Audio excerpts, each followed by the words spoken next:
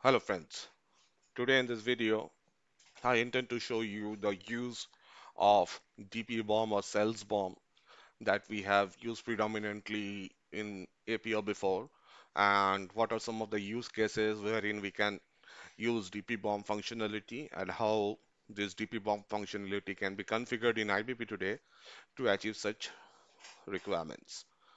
So to begin with, DP BOM or cell BOM functionalities are used today across multiple industries. Primary examples of such are cases of wherein we sell promo products, wherein the promo product itself is a finished goods, and in order to make that promo pack, you need two more different finished products or different SKUs that to combine together to form a third product. For one of my clients who are primarily into equipment manufacturing, they have a requirement wherein they make saws or band saws. And these band saws are primarily sold today in various lengths and sizes. And each of those lengths represent one of the finished SKU which are primarily MTO in nature. And they are sold as and when the demand comes in or a sales order comes in. So the requirement here is since most of the end product are MTOs As a result of this, at a end SKU level, we don't have enough sales history to generate a forecast. As a result of this, the purpose of this solution is to aggregate the sales history of all the MTO SKUs to the master coil level. Master coil is the coil from where these MTO band saws are cut into so that at that bandsaw coil level or the master coil level, we aggregate all the cells from the direct MTO SKUs and then we run the forecasting at that level. So to start off with, for the purpose of this requirement, I have created a additional master data type that I have named it demand planning BOM, which consists of a location, a product, product 2 and a ratio. Just for your understanding, the products are the end products or the SKUs that are MTO SKUs, which are primarily cut out of the mother SKU or the master coil, which is represented here in the product 2. So all of these products that you see in the column product ID are primarily created by cutting out the master coil, which is this in some predefined ratio and sizes. So if I say it from a supply planning perspective, if we consider it and try to correlate it at a BOM, then this product are basically the output product, whereas the product two here denoted will be a component.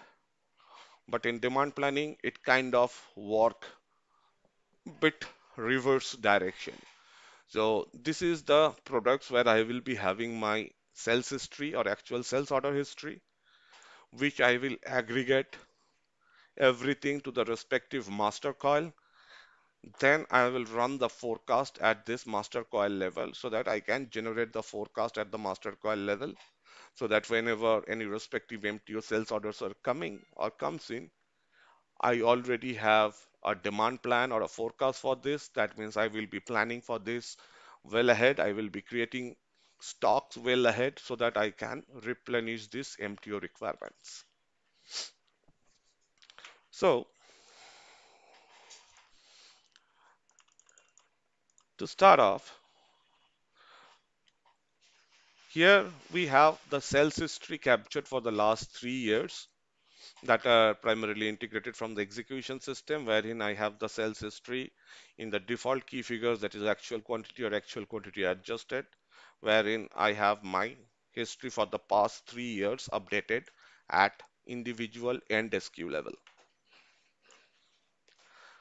So then what I'm doing here is here if you see some of the SKUs are MTS, some of the SKUs are MTO. So there is a bifurcation in these SKU types because for MTO SKUs where primarily I will only create products or orders whenever there is a sales order in there and I will not do any kind of stock management or safety stock planning for this. Whereas for MTS, I will be having generalized or trend demands for which I know I have demands all around the season, and as a result, I will stock or have some safety stock for this product.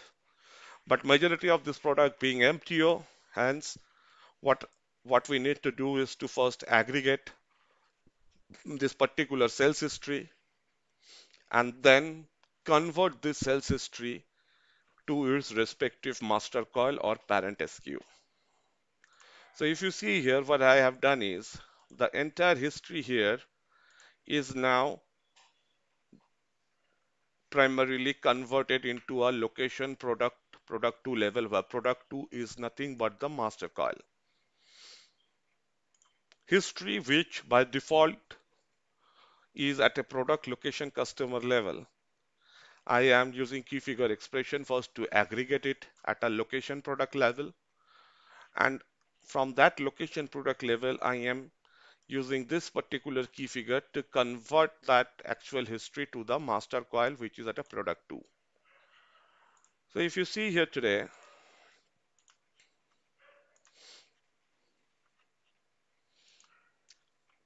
in this key figure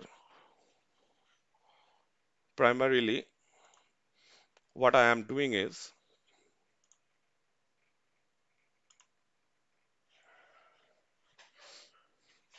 in this key figure what I'm primarily doing is I am taking the aggregation of sales history at a product location level and then I am multiplying it with the Banshore ratio which is at a product product to location level.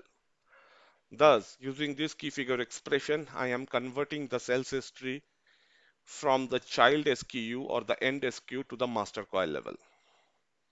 So that's what you can see here as well. So this is the master coil level.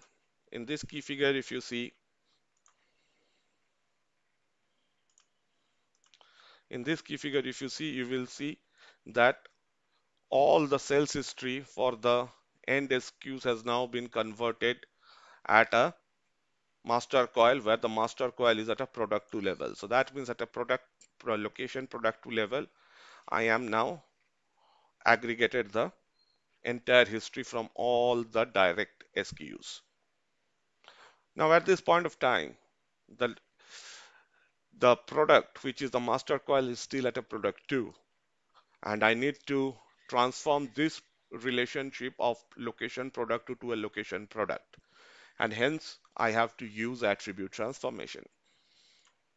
So the attribute transformation that I have used here is what I have mentioned is product ID at the target planning area planning level is nothing but the product 2 ID of this key figure, which is nothing but this key figure.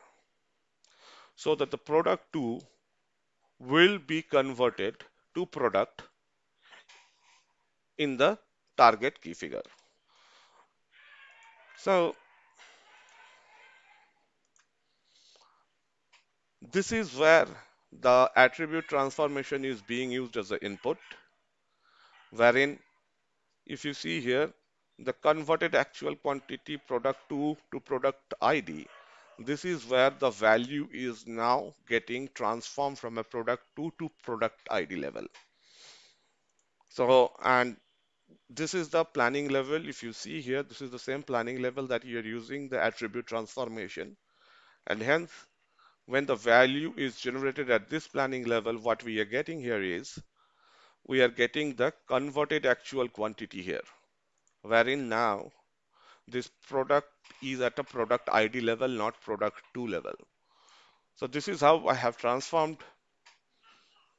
the actual sales from the MTO SKUs, aggregated it to the respective master coil which was initially at a product 2 level and then used attribute transformation to convert them to a product ID.